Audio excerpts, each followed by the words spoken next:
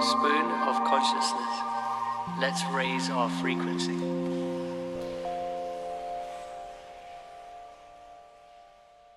Welcome to the Spoon of Consciousness podcast. My guest today is Steve, and today we're talking about skepticism in astrology.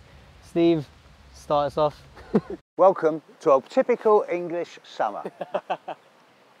okay, um, as an astrologer with over 40 years experience of studying the subject and over 35 years of experience of actually doing the subject, over the years I've come up against all the arguments of skepticism and cynicism around astrology. So I'd like to give you, first of all, the arguments against astrology. This is why, in many people's eyes, astrology is just a load of bunkum. Firstly, there is absolutely no science whatsoever that suggests that the planets up there in the heavens have any influence on us whatsoever. Yes, there's a little bit of evidence that suggests that the moon affects one or two mollusks and oysters and that does the tides, but that's it. It obviously doesn't affect us. Secondly, astrology belongs in the dark ages. It's in the same realm as the tea leaf readers, the tarot readers, the psychics, the mediums. It's psychic mumbo jumbo, and anyone who believes in this is obviously an idiot, right? because we live in a rational age where science can explain everything and astrology doesn't work, it's obvious it's rubbish. Thirdly, look at this nonsense in the daily newspaper, sun sign astrology. And you're telling me that a little paragraph of 12 different types applies to everyone in the world. What a load of rubbish. It obviously doesn't work.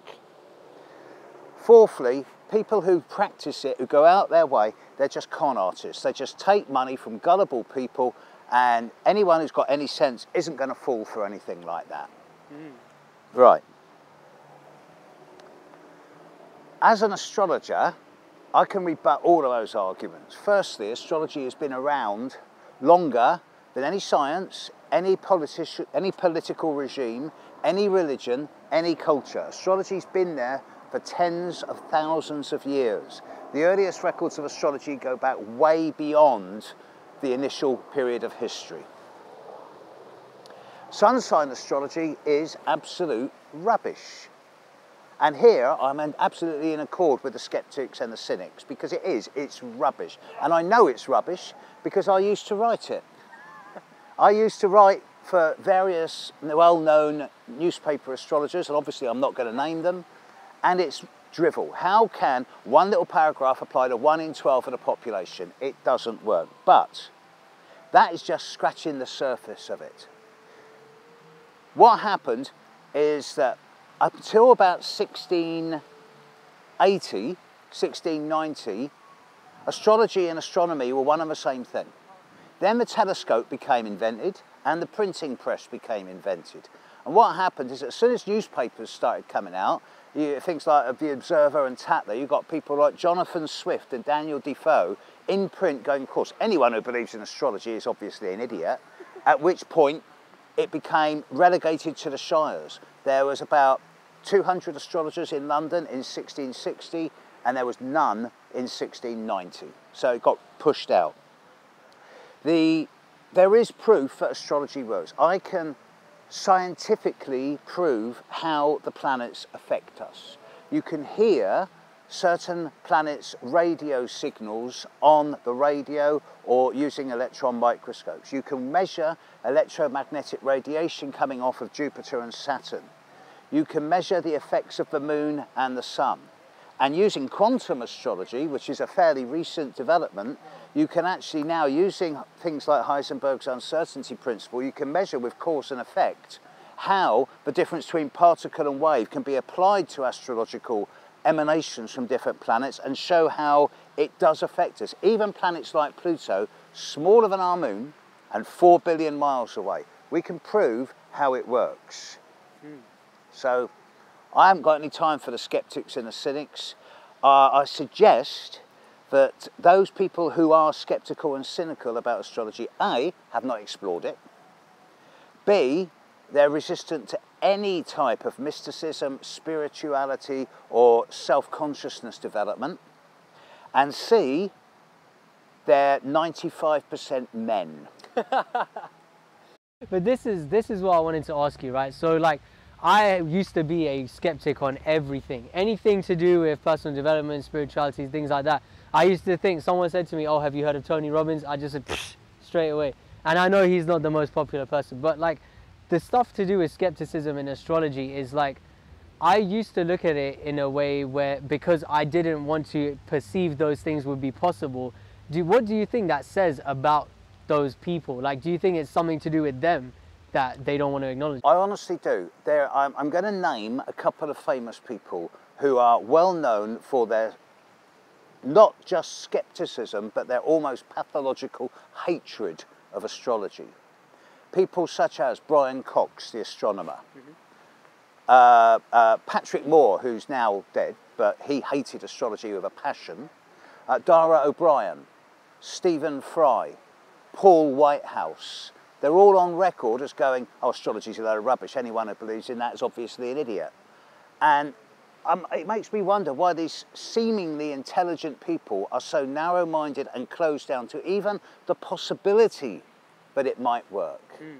Sure, there is a philosophy here that if you believe in something strong enough, it works for you because the power of positive thought and power of positive belief, it, you know, you can dream things in and if you want it to work, it will work. But the thing is, I would challenge any of these people. I would go up against them anonymously and just say, right, I don't care who you are, you can hide behind a curtain, give me your chart, I'll do your horoscope, and then you tell me I'm wrong, right? And, and I'll be able to pull out certain events and situations from their past, and then I would defy them to tell me I'm wrong. And the question remains, why are they so vitriolically opposed? What is it about it, what is it about astrology that scares them? I can understand it if it's, if it's a bishop, a cardinal, a pope, because astrology is a direct challenge to organized systems of religion. But when you see famous people who are not religious out there having a go, you, you question why? why what, what's their agenda? What's the purpose? Surely they're more sophisticated and intelligent than this. This is the thing that I, this is what I think is personally. It's like, as, believing in something like astrology would suggest to you that you don't actually have it all figured out and I think it puts it in like it gives us a chance to put our insignificance into perspective. It's like Jupiter is, like you said the largest planet is bigger than all of them combined.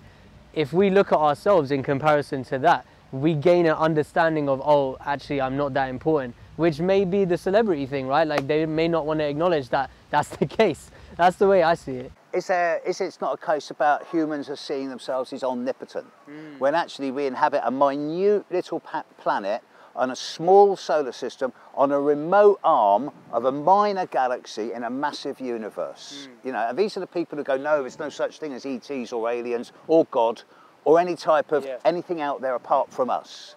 Yeah. Uh, and that makes, well, I could say white men, but actually it makes humans the dominant power in the universe. And they don't like to give up that idea of uh, their own divinity, if you like. So yeah, the fact that if you, if you take, if they even remotely open up to any type of spiritual meaning in their lives, they're opening up to something bigger than them. And that will cause their own personal belief systems to tremble like the walls of Jericho. I think, you know, one thing I've seen is like, uh, like we're on the subjects of celebrities and people in power and whatnot.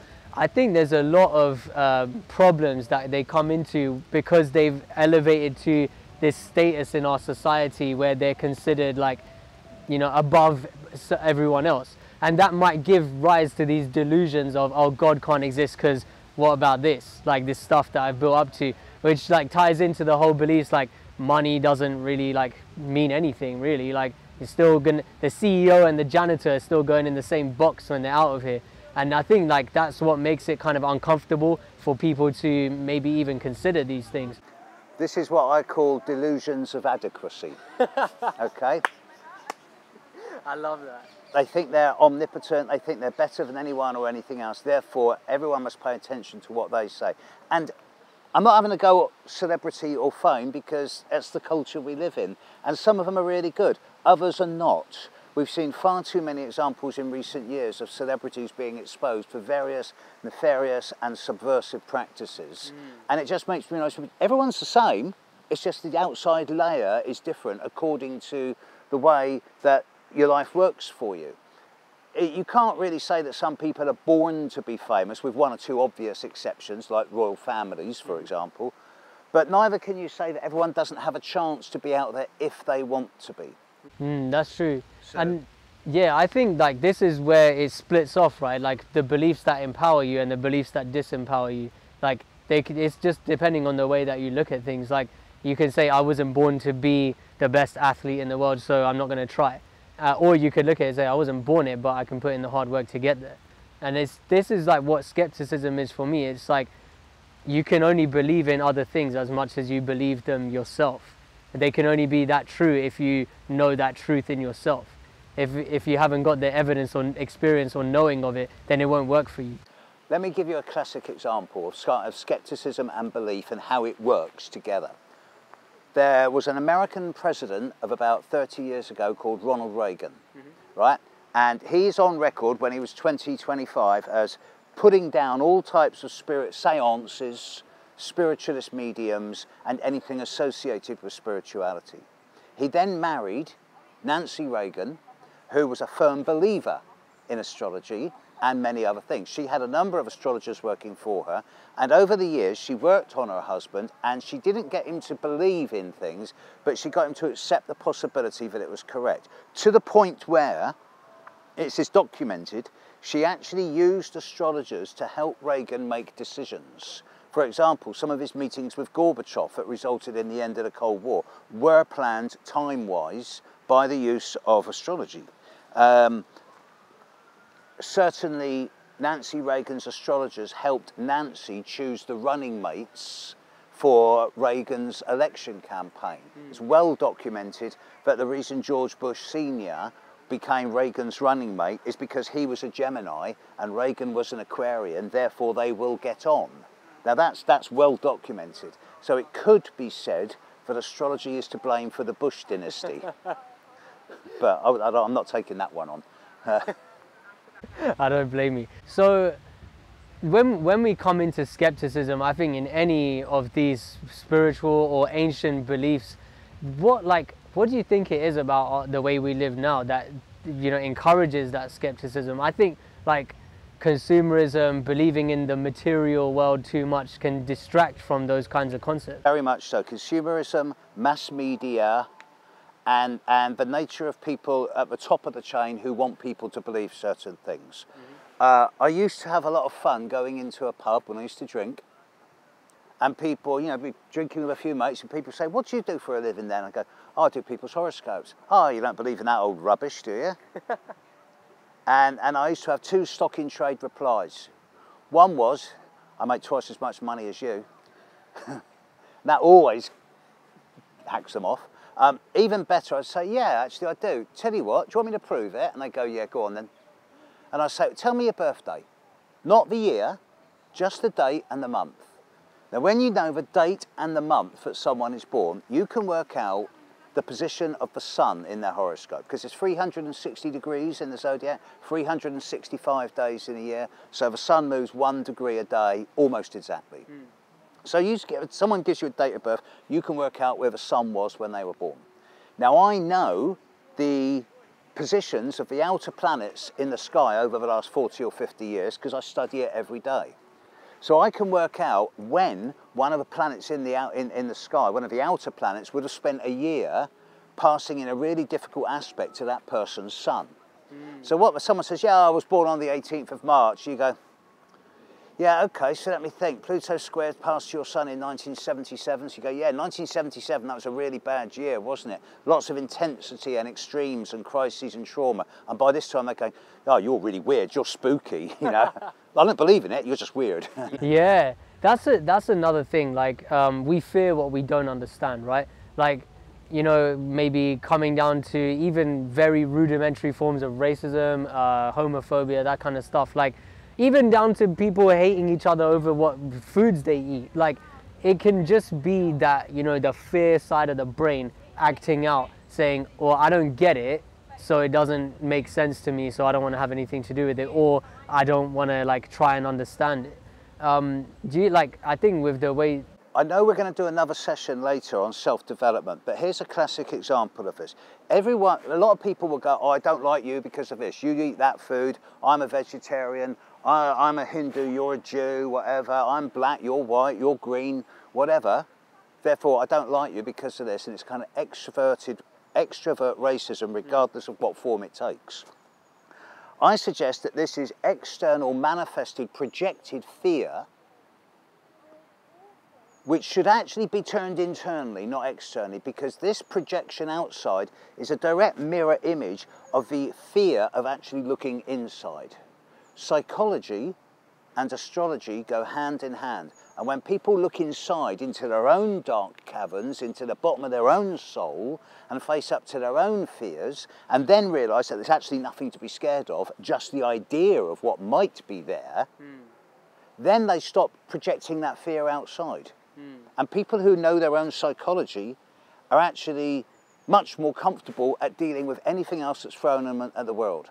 So when I see a skeptic or a cynic having a go at me, it tells me that actually you don't know yourself very well. You're not in touch with your inner core feelings and you're projecting your fears onto me. 100%. I love the saying, uh, how you see me has got nothing to do with me, but everything to do with you. Because it shows like if you don't have knowledge of self, you're just projecting all the time, like whatever it might be. But um, like on the same lines of knowing your psychology, like even that field gets skepticism, and and those things are not like proven more, but you can see their direct applications. So like when you present someone with this irrefutable things about themselves, like what kind of resistance have you come into? Well, resistance is a good word. Look at the word fear. Use it as an acronym. False or fake energy aggravating resistance. Wow, okay. Oh, all right. Um, A lot of people will just go, no, I don't believe in psychology. Nothing inside me. I'm all right. I'm a bloke. I'm on the, I'm all right on the outside. I like women. I've got me six pints a night. You know, I'm fine. Um, and that's obviously just just another defense mechanism the idea of actually looking inside oneself, looking into one's soul, checking how oneself is with oneself and with the universe and the world around you, dealing with your own fears, phobias, paranoias, insecurities, doing your best, not dealing with them, not resolving them because it's an ongoing lifetime process, but doing your best and not being judgmental or critical of yourself, accepting yourself as who you are, warts and all, by doing that, your whole outside world aspect changes. And the way you, you deal with the world with a much greater sense of understanding, compassion, empathy, and the world becomes a better place. Mm. Now, a cynic or a skeptic would have a field day with that statement, but I know it to be true. And I can produce 30,000 statistics of all the readings I've done in my life, which also these people will say, yes, it works. So at the end of the day, you're never going to convince the rational, scientific logistician. I want proof. Mm. Because even if you give them proof, they'll find ways of disproving it. I think like the word proof is it's not definitive because like you could prove that the branch fell down because you saw it, so that's your proof. But someone else who didn't see it, they might think you took it down. And I think the proof is only our perspective. So we might believe in this stuff, if someone else sees our proof and from their perspective they can't see how it matches up, it's not proof to them. There's a very good case for saying that we live on one planet but there's six billion different worlds. Yep.